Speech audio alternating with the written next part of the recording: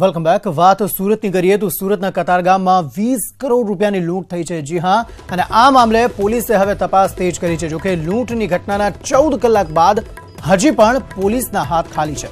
Crime બ્રાન્ચે phone કોલ્સના આધારે તપાસ ચોક્કસપણે શરૂ કરી છે, જેમાં કંપનીના બંને કર્મચારી સહિત ડ્રાઈવરના ફોન કોલ્સની તપાસ કરાઈ રહી છે. કર્મચારીઓ પર ઘટના દરમિયાન અને ઘટના પહેલા કઈ કઈ વ્યક્તિઓના ફોન આવતા હતા તે અંગેની તપાસ થકી પોલીસ સમગ્ર હીરા સેફ ડિપોઝિટમાં મૂકવામાં આવે છે તે કેટલા કર્મચારીઓને જાણ હતી તે અંગે પણ હવે તપાસ કરી રહી છે. સાથે જ આ સમગ્ર ઘટનામાં કંપનીની પણ બેદરકારી સામે આવી. કરોડોના હીરા સેફમાં મૂકવા જતા કોઈ સુરક્ષાકર્મી સાથે ન હતો, જેને લઈને કંપનીની પણ બેદરકારી સામે આવી છે.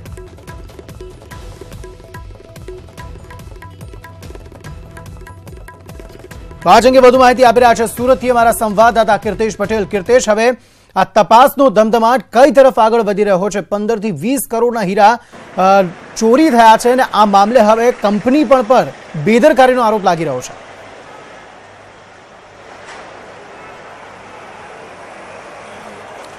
ચોક્કસપણે સુરતના કતારગામ વિસ્તારમાં ગઈકાલે મોડી સાંજે જે રીતના પંદરથી વીસ કરોડ એટલે કે બાવીસો કેરેટના હીરાની જે લૂંટની ઘટના સામે આવી હતી. અંદાજિત પાંચ કરતાં વધુ લૂંટારુઓ ટાટકેટા કંપનીના ત્રણ જેટલા કર્મચારીઓ પર હુમલો કરી, લૂંટ કરી ફરાર થઈ ગયા હતા. જોકે ઘટનાની જાણ થતાં સુરત પોલીસ સુરતની તમામ પોલીસ સાથે અલગ અલગ એજન્સીઓ લૂંટમાં જોતરાઈ હતી અને તપાસનો ધમધમાટ શરૂ કર્યો હતો.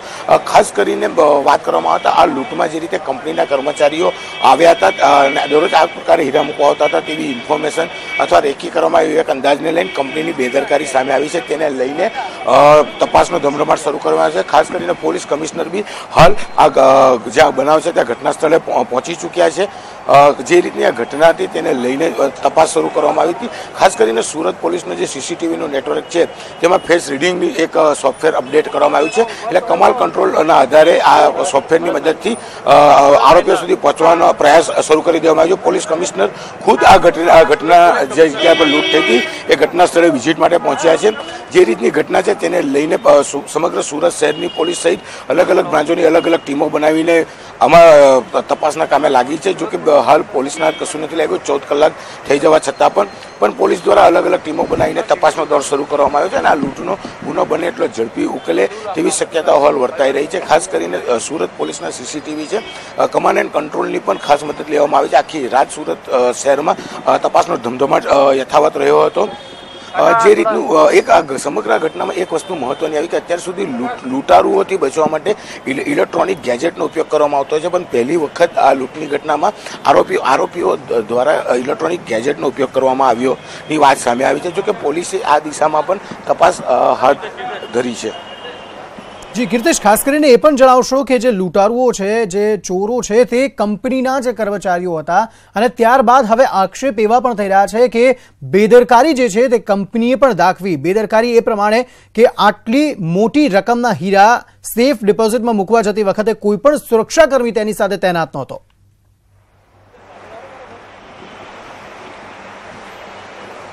ચોક્કસપણે જે રીતની આ ઘટના બની છે, ઘટનામાં કંપનીની બેદરકારી પણ સામે આવી છે, કારણ કે દરરોજ જ સાંજ પડતા સેલ્ફ ડિપોઝિટમાં આ હીરા મૂકવાની કાર્યવાહી ચાલતી હોય છે. જો કે આ કાર્યવાહી દરમિયાન માત્ર ત્રણ વ્યક્તિઓ અને તે પણ સિક્યુરિટી વગર ગયા હતા તેવી બેદરકારી સામે આવી છે, જેને લઈને પોલીસે હવે ગ્લો સ્ટાર ડાયમંડના કર્મચારીઓ પર પણ તપાસનો ધમધમાટ શરૂ કર્યો છે. કારણ કે જે જે કર્મચારી છે, વર્ષોથી હીરા મૂકતા હોય છે ને આના વિશે કંપનીના તમામ કર્મચારીઓ જાણતા હોવાની વાત પણ સામે આવી છે. તેને લઈને હવે પોલીસ દ્વારા જે કર્મચારીઓ જાણતા એની એક યાદી બનાવી તેમની પણ પૂછપરછ હાથ ધરવામાં આવી છે તે ઉપરાંત ગઈકાલે હીરા મુકવાયેલા ત્રણે ત્રણ કર્મચારીઓની પણ કોલ ડિટેલ કાઢી અને તે લોકોની બી પૂછપરછ હાથ ધરવામાં આવી છે.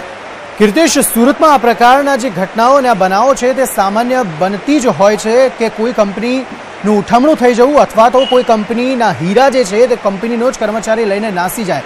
પરંતુ અત્યાર સુધીની ઘટનાઓમાં માત્ર કરોડ, બે કરોડ સુધી વાત સીમિત થઈ જતી હતી. પરંતુ આ વખતે ખૂબ જ મોટી ચોરી થઈ છે. પંદરથી વીસ કરોડના જે હીરા છે, તે ચોરીને આ કર્મચારીઓ ફરાર થઈ ગયા છે.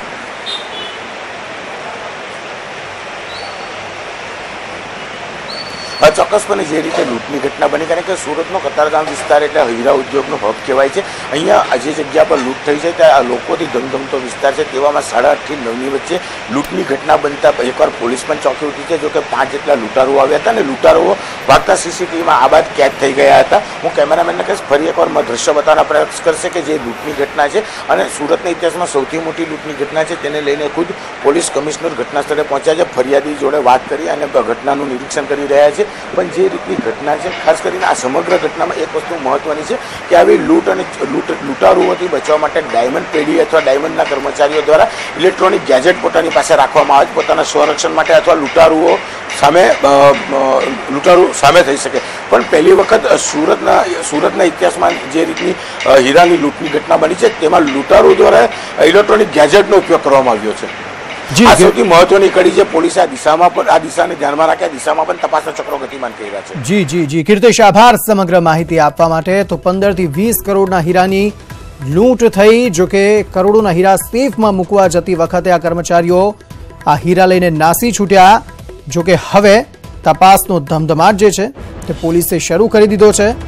કંપનીની પણ બેદરકારી અહીં સામે આવી રહી છે કે આટલી મોટી રકમના હીરા જ્યારે સેફ ડિપોઝિટમાં મૂકવા જવાના હોય છે, ત્યારે સુરક્ષાકર્મીને સાથે રાખવું ખૂબ જ જરૂરી છે.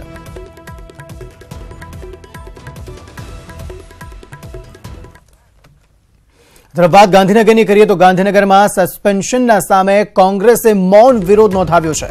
કોંગ્રેસના ત્રણ સભ્યોના સસ્પેન્શન પર હવે કોંગ્રેસના તમામ ધારાસભ્યો મૌન વિરોધ નોંધાવશે.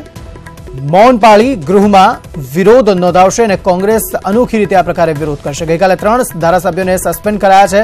ત્યારે પ્રશ્નોત્તરી કાળમાં કોઈ પણ પ્રશ્ન નહીં પૂછે કોંગ્રેસ અને આ રીતે પોતાનો વિરોધ કોંગ્રેસ વિધાનસભામાં દર્શાવવાનું છે. કોંગ્રેસના ત્રણ સભ્યોના સસ્પેન્શન પર આ પ્રકારે અનોખી રીતે કોંગ્રેસના તમામ ધારાસભ્યો વિધાનસભામાં વિરોધ નોંધાવશે. મૌન પાળીને ગૃહમાં વિરોધ નોંધાવાના છે એટલે કે પ્રશ્નોત્તરી કાળ દરમિયાન એક પણ પ્રશ્ન નહીં પૂછે કોંગ્રેસના ધારાસભ્યો. તરફ વાત અરવલ્લીની કરીએ તો અરવલ્લીના મોડાસા માર્કેટ યાર્ડમાં ખેડૂતોએ હોબાળો મચાવ્યો જેવા ટેકાના ભાવે ઘઉંની હરાજી શરૂ નહીં કરાતા ખેડૂતો રોષે ભરાયા અને ભારે હોબાળો મચાવ્યો. સરકારે નક્કી કરેલા રૂપિયા ત્રણસો સુડતાલીસથી હરાજી શરૂ કરવાની ખેડૂતોની માંગ હતી જોકે વેપારીઓએ ત્રણસો વીસથી હરાજી શરૂ કરતા ખેડૂતોએ હોબાળો મચાવી હરાજીને અટકાવી છે. ટેકાના ભાવે ઘઉંની હરાજી શરૂ નહીં કરાતા ખેડૂતો રોષે ભરાયા. ત્રણસો સુડતાલીસથી હરાજી શરૂ કરવાની ખેડૂતોએ હવે માંગ કરી છે.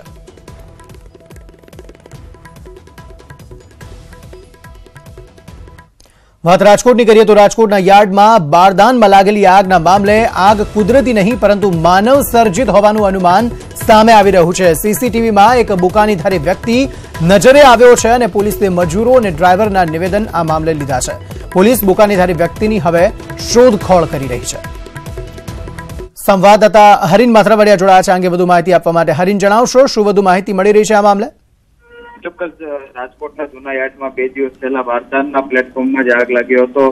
વીસ લાખ જેટલા બારદાન બળી ચૂક્યા હતા અને ખાસ કરીને અઢાર કરોડ જેટલું નુકસાન થયું હતું. પરંતુ જે રીતે માનવામાં આવતું હતું કે આગ લાગી છે, કુદરતી રીતે કે લગાડવામાં આવી છે, તેને લઈને હવે તપાસનો ધમધમાટ શરૂ કરવામાં આવ્યો હતો. બી ડિવિઝન પોલીસે ડ્રાઈવરો અને મજૂરોના નિવેદન લીધા છે. પરંતુ મહત્વની વાત એ છે કે સીસીટીવી ફૂટેજમાં એક બુકાનીધારી વ્યક્તિ છે તે આગ પહેલાથી અવર જવર કરતો હતો. તેના ઉપર પોલીસને શંકા છે અને હવે બુકાનીધારી જે વ્યક્તિ છે તે કોણ છે ને તેના દ્વારા જ આગ લગાવવામાં આવી છે. કે તમામ હવે તપાસનો ધમધમાટ છે. પોલીસે શરૂ કર્યો છે. બુકાની વ્યક્તિ કોણ છે તેની અત્યારે તપાસ કરી છે.